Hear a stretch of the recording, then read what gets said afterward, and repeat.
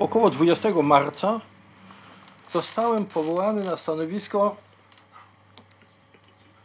pełnomocnika dla organizacji administracji państwowej na Dolnym Śląsku i na doradcę grup operacyjnych Komitetu Ekonomicznego Rady Ministrów. Jako doradca naukowy miałem naczelne zadanie sprawdzić i uzupełnić materiały na przyszłą konferencję pokojową z Niemcami, które zbierałem w czasie wojny.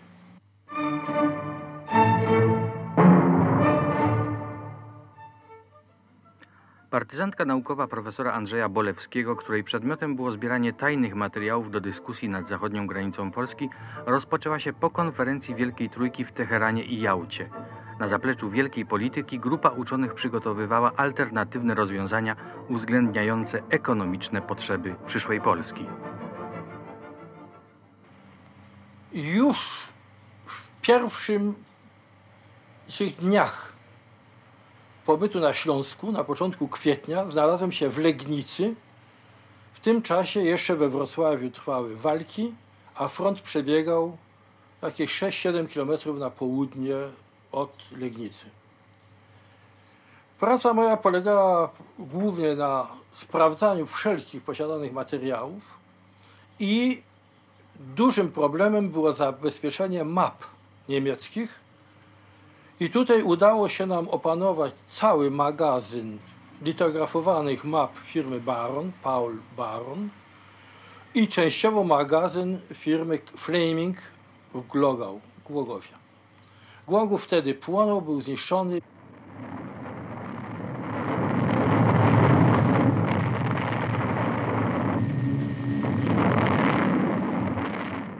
Doszła nas wiadomość, że ma się odbyć posiedzenie Wielkiej Trójki. Niepokój wzrastał, bo myśmy nie mieli zaproszenia. I z Warszawy żaden tego rodzaju sygnał nie dochodził. Oczywiście napięcie wzrosło najbardziej, gdyśmy się dowiedzieli z radia i prasy, że Wielka Trójka zebrała się w Poczdamie, ale nie było delegacji polskiej. Było to 17 lipca 1945 roku. W Poczdamie, bezpośrednim sąsiedztwie Berlina, stolicy pokonanej III Rzeszy, po raz trzeci zebrała się Wielka Trójka, by rozstrzygnąć ostatecznie szereg kwestii dotyczących powojennej Europy.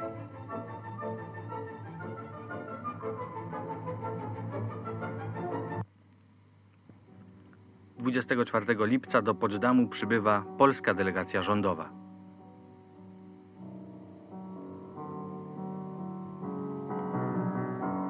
Tym wielkim napięciu przyszło telefoniczne wezwanie natychmiastowego wyjazdu do Warszawy. No łatwo było powiedzieć wyjazd natychmiastowy, ale czym? Zdołaliśmy uzyskać samochód od ówczesnego wojewody krakowskiego, załadować wszystkie nasze materiały, które mieliśmy dosyć dobrze przygotowane, no i udaliśmy się w drogę do Warszawy. Przyjechaliśmy na Okęcie bezpośrednio i gdzieś koło godziny 11 podstawiono nam y, Dakotę wyposażeniem desantowym, takim jakim spaczkowie spadochronowi y, używają bojową maszynę. W tej Dakocie miejsce zajął Walery Goettel, który był szefem naszej ekipy ekspertów, y, Stanisław Leszczycki, geograf i ja. Na lotnisku Schönefeld wylądowaliśmy w godzinach południowych 25 lipca. Od razu y, wojskowymi samolot, samochodami małymi przejechaliśmy na naszą kwaterę. To była jedydomna Grybnicstrasse delegacji polskiej. Tam panowała atmosfera podniecenia i y, wprost z marszu zostali włączeni w sytuację, gdyż Bierut już był po rozmowach z przedstawicielami Wielkiej Trójki i był zorientowany i miał zawęźlone zagadnienia.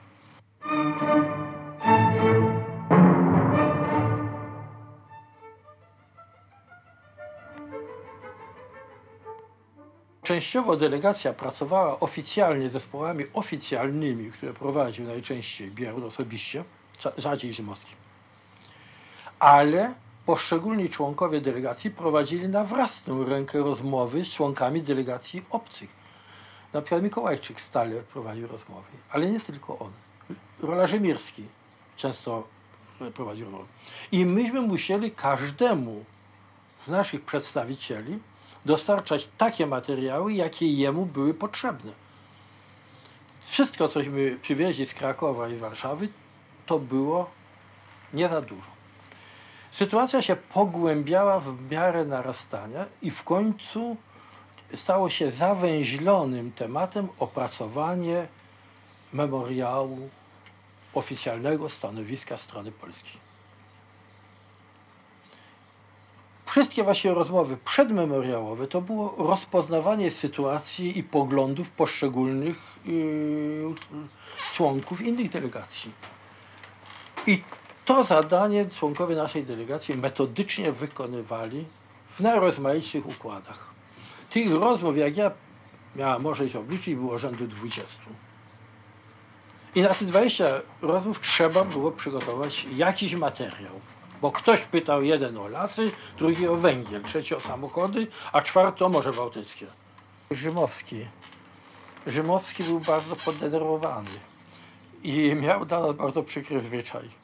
Chodził i popędzał nas. Po prostu popędzał.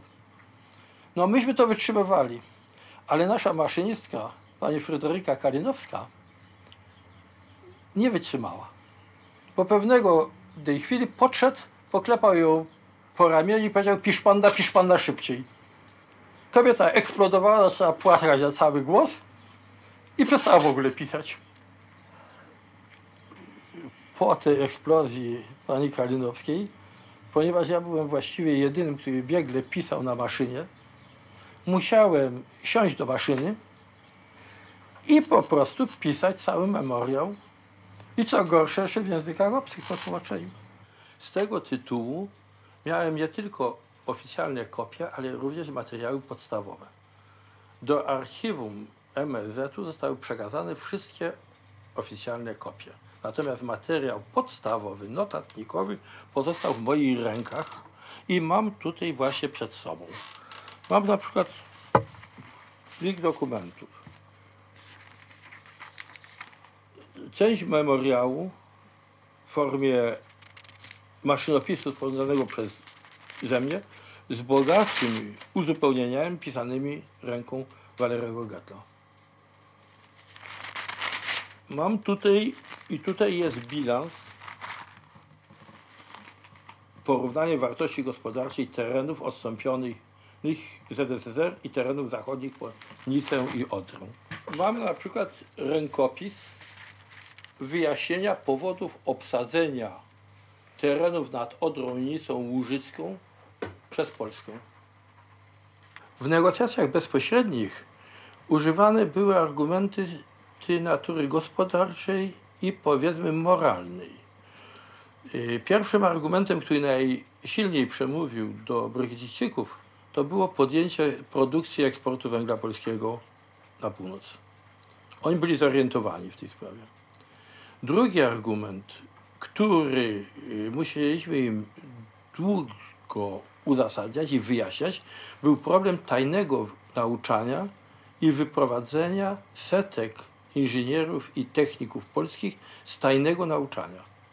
Oni tej formy działania w ogóle nie znali, nie wyobrażali sobie. Dalsza sprawa to była wiadomość, że wojsk, część oddziałów Wojska Polskiego nie został zdemobilizowany, natomiast został skierowany do pracy i że już yy, zatroszczono się o orkę i siewy na świeżo zajętych ziemiach. Mimo, że jeszcze ludność rolnicza nie napłynęła na te tereny.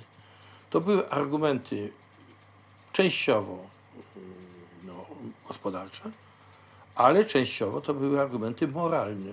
Jednym z koronnych argumentów użytych przez Churchilla przeciwko koncepcji przekazania całego górnośląskiego zagłębia węglowego i całego dolnośląskiego zagłębia węglowego Polsce był to, że rzekomo w Niemcy pozbawi to zaopatrzenia w węgiel. Że Niemcy staną bez opału. Odpowiedź nasza była jasna, mianowicie eksport węgla z Niemiec był większy, aniżeli cała produkcja Dolnośląskiego Zagłębia i niemieckiej części ci Górnego Śląska. W takim razie byśmy udowadniali, że Niemcy mimo oddania Polsce Dolnego Śląska całego i tak powinni być eksporterem węgla. Ten sam motyw podjęli w dyskusji z nami eksperci. Szybko musieli jednak wycofać się z tego stanowiska, gdyż nasze twierdzenia i liczby statystyczne były oparte na publikacjach Imperialnego Brytyjskiego Instytutu Gospodarczego, który oni nie mogli podważyć tych danych i musieli przyjąć. Zaskoczenie polegało na tym, że strona polska argumentowała materiałami brytyjskimi. To był chyba przełomowy moment w naszych rozmowach z ekspertami brytyjskimi, którzy uznali nasze materiały za wiarygodne.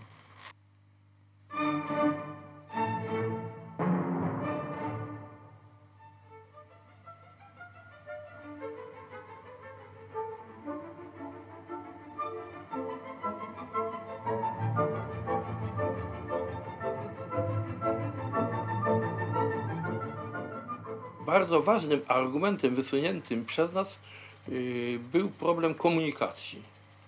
O ile problem komunikacji kolejowej nie budził zastrzeżeń, o tyle pokazanie mapy opracowanej przez Adama Bielańskiego, ojca, dyrektora dróg wodnych w Krakowie, a pokazującej drogę wody, a pokazującej drogę wodną Wisły, Odry, połączonych w przyszłości kanałem górnośląskim, kanałem centralnym i istniejącym już notecią i kanałem bydgoskim, zwieńczonych na północy dwoma zespołami portowymi Szczecin, Świnoujście i Gdańsk-Gdynia oraz możliwość ich powiązania z całym systemem dróg wodnych Europy wzbudził żywe zainteresowanie i bardzo życzliwe komentarze.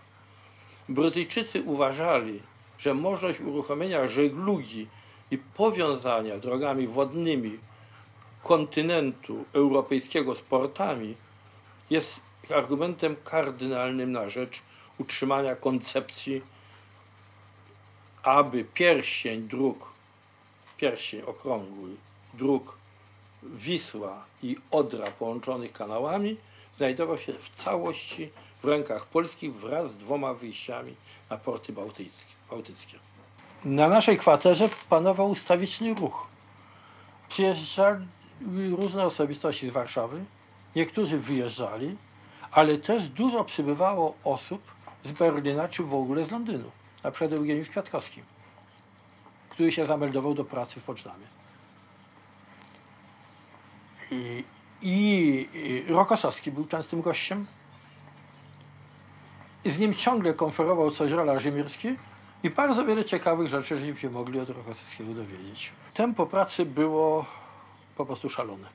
Myśmy zaczęli pracować we wczesnych godzinach popołudniowych 25 lipca, a 28 nasza delegacja przedstawiła oficjalnie gotowy memoriał. Trzeba powiedzieć, że Bierut w sposób zdecydowany i stanowczy domagał się zrobienia wszystkiego, co możemy zrobić, żeby sprawę wygrać, tak jak gdyby nam nikt w ogóle na świecie nie pomagał. Że to, że my możemy dostać jakąś pomoc, to nie jest, nie powinno docierać do ekspertów. Grabski był typowym profesorem austriackim dawnej daty. On musiał mieć wszystko dokładnie, skrupulatnie zrobione i, i, sprawdzone. On musiał każdą liczbę, każdą wartość sprawdzić. Więc był, no, dla nas był bardzo trudnym partnerem, bo fachowo po profesorsku nas po prostu legitymował, sprawdził stwierdzenie. Najmniej właściwie napięcia wykazywał premier Osóbka Morawski, który zdecydowanie stał na stanowisku i wierzył, że Stalin, jak mówił, sprawę załatwi. On właściwie na naszą pracę i wysiłek to patrzył, no tak dosyć sobie lekko. Po złożeniu tego naszego memoriału zarysowały mi się tylko dwie sylwetki. Mianowicie Goethe miał takie porzekadło, że jak ma trudny problem, to musi go przespać. Więc on wtedy przespał ten memoriał i wrócił do niego swoim zwyczajem. Ale tak samo wrócił poważnie Bierut. Bierut z Goethem przy udziale Grabskiego przeprowadzili dokładną analizę, czy nie ma jakiejś omyłki w memoriale, czy coś żeśmy zapomnieli. Gdy okazało się, że wszystko cośmy mieli, tośmy wyczerpali, Bierut zarządził, żebyśmy zjedli wczesny obiad i uważał za właściwe, żeby on wraz z całą delegacją pojechali do obozu koncentracyjnego w Sachsenhausen i złożyli kwiaty, polne kwiaty, bo innych wtedy nie było, na miejscu, gdzie tracili życie Polacy, a w szczególności na, w tych blokach, w których przebywali profesorzy z Onderakcją Krakow. W czasie tego pobytu zdjąłem z, z drzwi wejściowych do mojej izby, w której byłem więziony, napis Tagesraum, który do dziś przechowuję jako oryginalną pamiątkę obozową.